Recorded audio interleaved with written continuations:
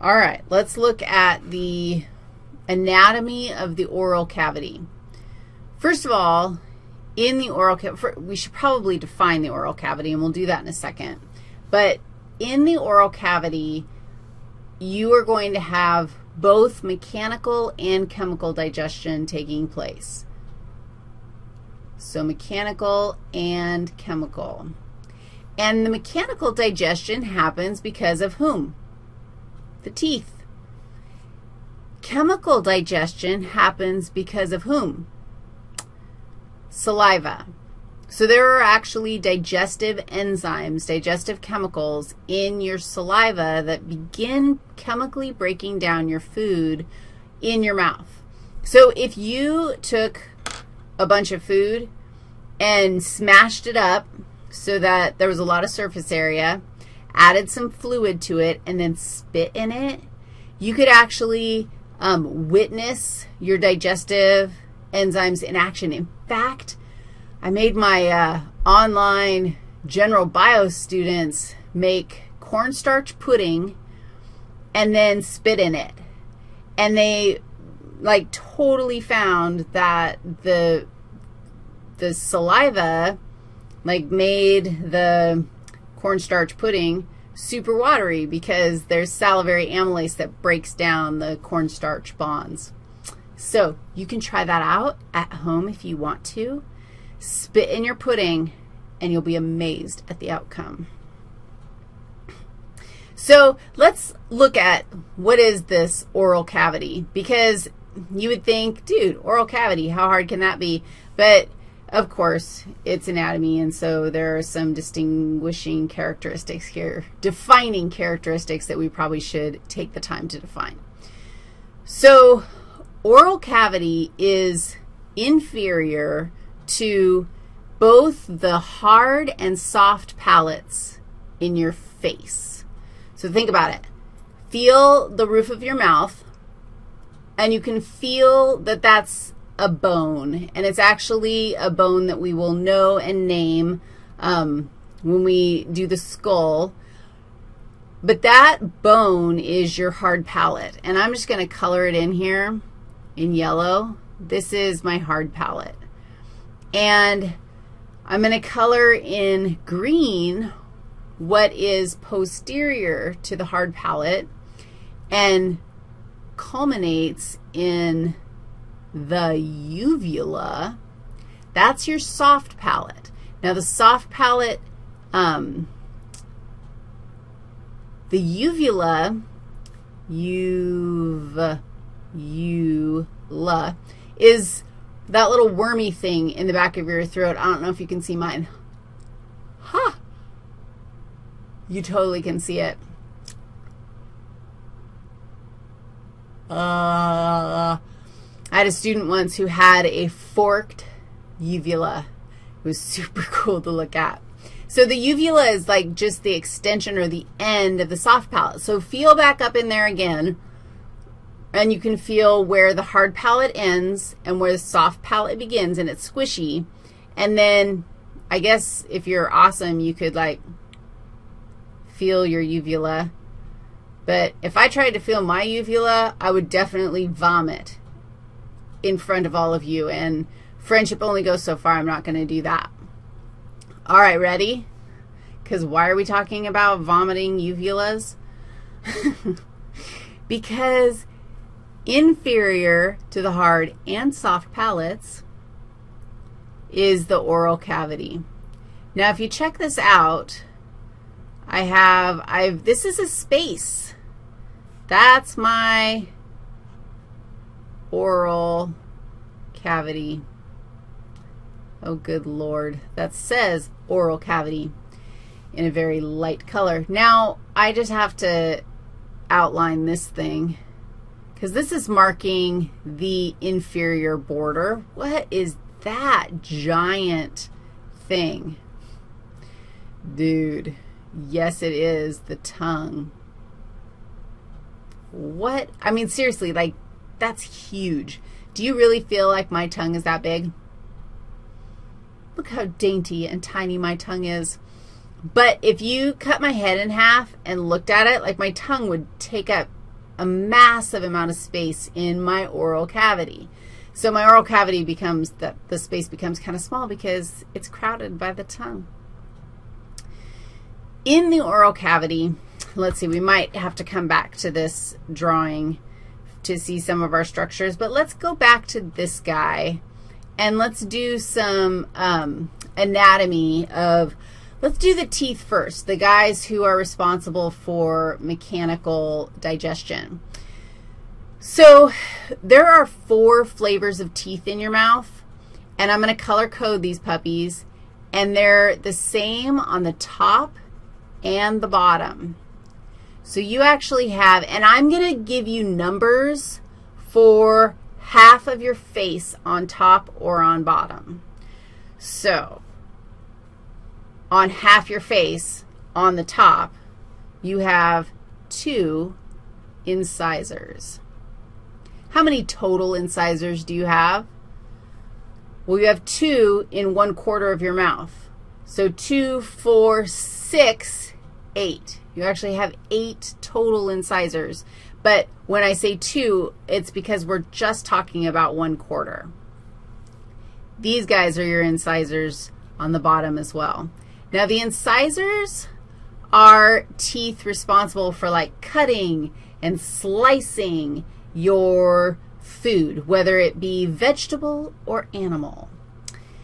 You also have, let's see, we'll do this color, one canine. Canines tend to be pointy. They don't look super pointy in this picture. Everybody's canines are different. Some people's canines are super pointy, and they're for puncturing and piercing and like slashing and piercing things. How many total canines do you have? You have four. You also have two, four, six, eight premolars. And interestingly, those premolars are baby molars. I don't know if that makes sense. When you are a little slime, you actually have, like, your baby teeth come in, and the premolars that come in when you're a baby are considered baby molars. And then when they fall out, they grow back as these premolars. And then kids get their, um, their molars. And there's actually three molars on a side, top and bottom. And one of those molars is the wisdom, one, four of them, are wisdom teeth. And wisdom teeth are molars that often don't even fit in your face. And if they don't fit, then you actually have those um, wisdom teeth pulled. Um, feeling good about that, right? So those guys, your chompers, your premolars and your molars are responsible for grinding up your food. They're a little bit flatter. They have more roots to anchor themselves into your jaws bones, into your mandible and your mandible and your maxilla. And again, we'll do those when we talk about the skull. Um, but they're mechanically breaking stuff up. Let's look at our salivary glands. Now, there's a couple more structures that I'm going to label here in this diagram, but um, salivary glands, and I think I've got an image over here of salivary glands, but you actually have three sets of salivary glands, three pairs. Salivary glands. Now think about this a second. What kind of glands are salivary glands? They're secreting substances into your mouth, which is outside of the body, so they're exocrine glands. And these exocrine glands um, come in pairs. So you have the parotid gland, and the parotid gland, para means near, and ot means ear. So the parotid glands are actually in front of the ear. It's the biggest salivary gland in your body, but it only produces about 30% of all of your saliva. The submandibular glands produce most of your saliva. They actually produce about 65% of all of the saliva. And the submaxillary, no, sublingual.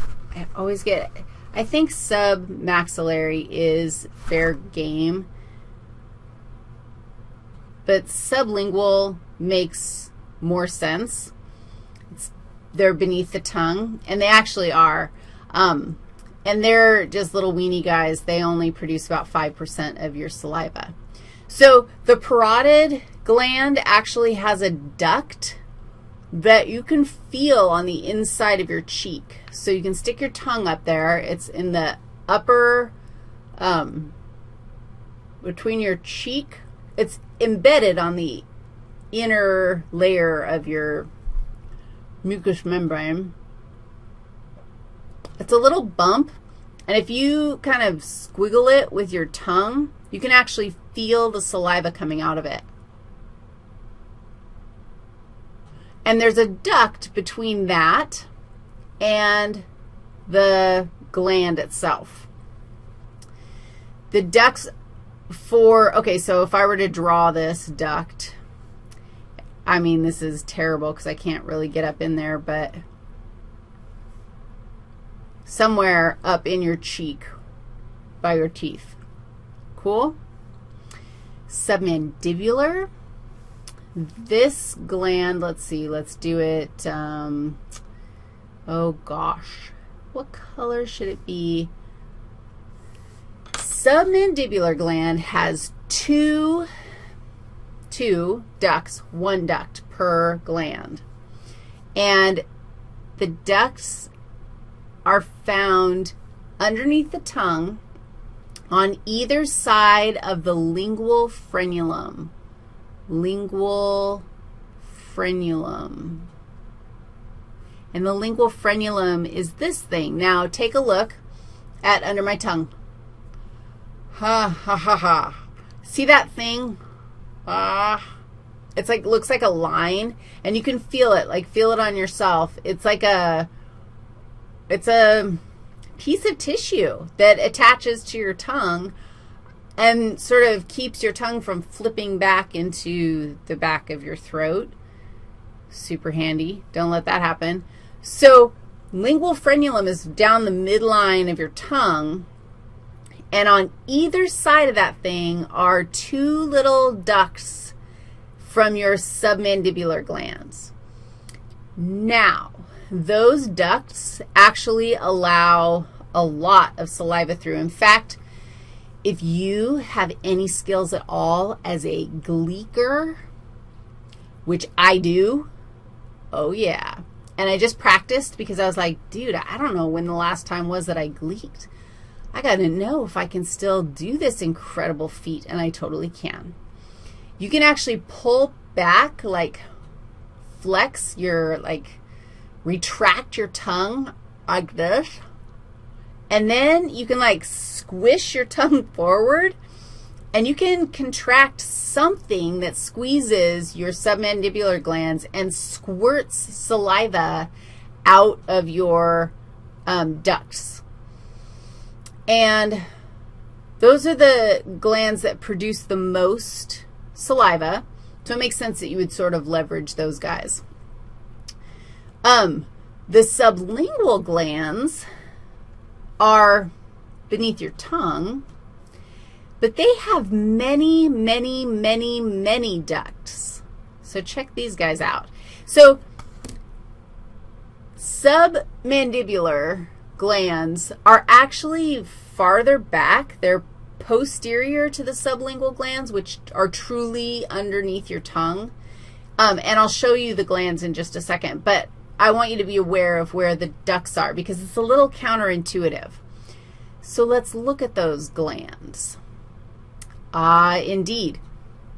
Check it out. This is, oh, hello. This one is, what do you think? Sublingual, there's my tongue, or submandibular? Did I just totally tell you? This is sublingual. And this guy is submandibular. And who's this? My friendly parotid. Notice the parotid duct. Notice I'm going to draw the submandibular duct. Remember, this is the one, this is the Gleeker. Here's the duct.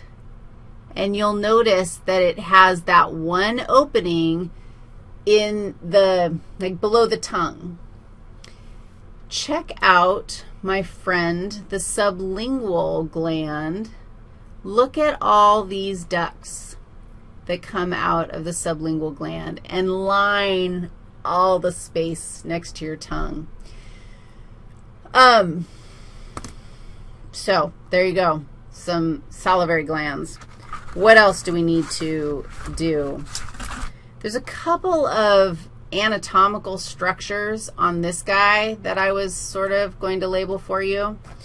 Um, if this is the lingual frenulum, what do you think this guy is?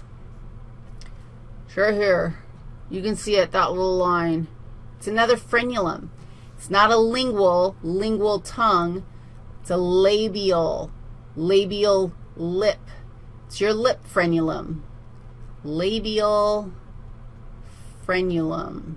And you'll notice that you have a labial frenulum, a superior labial frenulum, and an inferior labial frenulum. You also have gingivae. Actually, I don't know how to pronounce that. Gingivae. Basically, those are your gums. Your teeth are like held into your mandible. Your gingivae surround your gums, surround your teeth, that little joint, and um, protect that joint. Um, let's see, what else? I don't think there's anything. Let's see. Um, ah, there's a space. A space. Of course, we must name spaces. This space right here is called your vestibule, and it's this space in here. And, dude, the only way that I can remember my vestibule is because I will never stick chew in my vestibule. I'll never put tobacco. What is it? Is it just called chew? I feel like it has another name. Chewing tobacco. I will never put chewing tobacco in my vestibule, but people who chew tobacco stick it in their vestibule.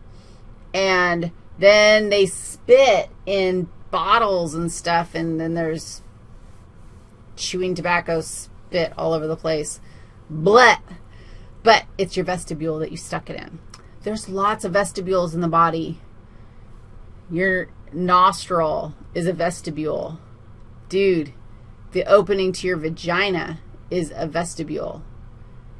Don't stick chew in any one of your vestibules.